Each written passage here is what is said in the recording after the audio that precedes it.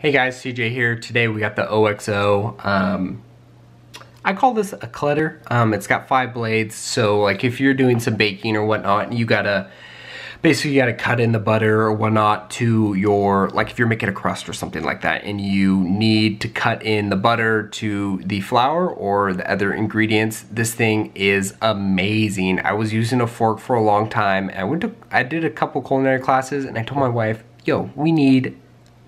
We need a, I call it a cut in tool.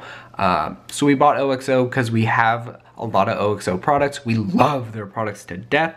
Um, this thing is awesome just because, you know, there's some products out there that have like sharp edges and, and um, it's hard to grip.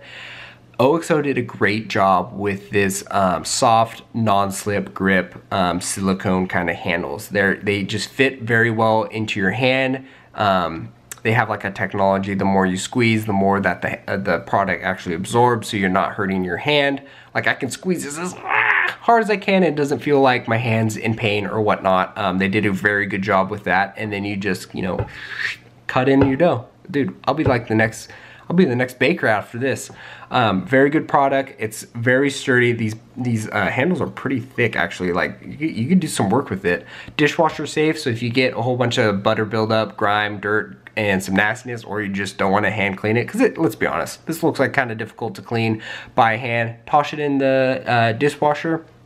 You ain't got to worry about a thing. Come out clean then you're back to baking the next day. You know what I mean? All right guys that's gonna be it for me. I'll catch you on the next one. Peace